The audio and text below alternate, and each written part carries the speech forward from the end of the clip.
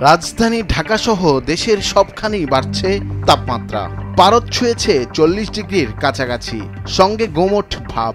বৃষ্টি হওয়ার কোনো সম্ভাবনা নেই। চৈত্রের কাঠফাটা রোদে নাবিশ্বাস উঠেছে জনজীবনে। গরম হলেও শরীর থেকে তেমন ঘাম বেরোচ্ছে না। এমন পরিস্থিতিতে হতে পারে হিট স্ট্রোক।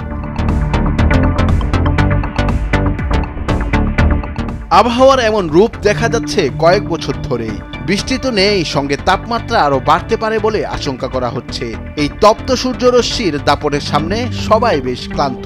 যারা একান্তই কোনো উপায় না পেয়ে বাইরে বেরোচ্ছেন তাদের সম্মুখীন হতে হচ্ছে কঠিন সমস্যার। মনে রাখবেন, তীব্র দাবদাহে অনেকে হিট স্ট্রোকে আক্রান্ত হতে পারেন, আর এই অসুখ কিন্তু মেডিকেল ইমার্জেন্সি। তাই সচেতন হওয়া ছাড়া আমাদের হাতে আর কোনো গতি নেই। এই পরিস্থিতিতে যারা বাইরে কাজে বেরোতে হয়, তাদের কয়েকটি বিষয়ে সতর্ক থাকতে হবে।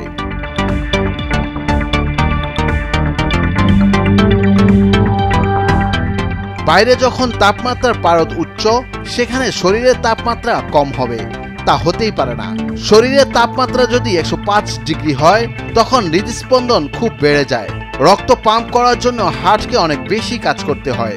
শরীরের উপরিভাগে ঘাম তৈরি হয়, আর এই ঘাম আমাদের শরীরকে ঠান্ডা রাখে। কিন্তু শরীর থেকে পর্যাপ্ত ঘাম না বেরোলে তৈরি হয় মারাত্মক পরিস্থিতি, আর তখনই ঘটে যেতে পারে হিটস্ট্রোকের মতো ঘটনা।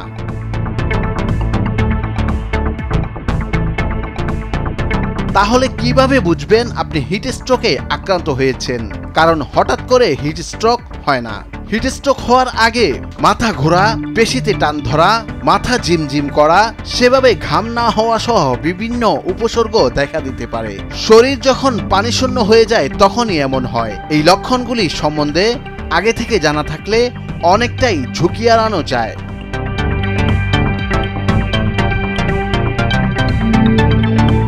হিটস্ট্রোকে আক্রান্ত হতে পারে ছোট বড় সব ধরনের মানুষ। যারা অনেকক্ষণ ধরে রোদ্দুরে কাজ করে বা আগে থেকে কোনো হার্টের সমস্যা রয়েছে, তাদের ক্ষেত্রে হিটস্ট্রোক হওয়ার সম্ভাবনা প্রবল। তবে বয়স্ক ব্যক্তিরা হিটস্ট্রোকে বেশি আক্রান্ত হতে পারেন।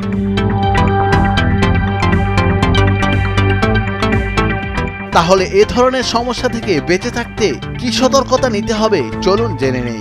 গরমে সবার আগে শরীর ঠান্ডা রাখতে হবে। বাইরে বেরোলে মুখ, মাথা কাপড়ে ঢেকে রাখুন। গরমে প্রচুর পরিমাণে পানি পান করতে হবে। এমন সব খাবার খাওয়ার চেষ্টা করতে হবে যাতে পানির পরিমাণ বেশি। চা, কফি জাতীয় পানীয় এড়িয়ে চলুন। তীব্র তাপদাহের সময় সম্ভব হলে বাইরে যাওয়া পরিত্যাগ করার চেষ্টা করুন।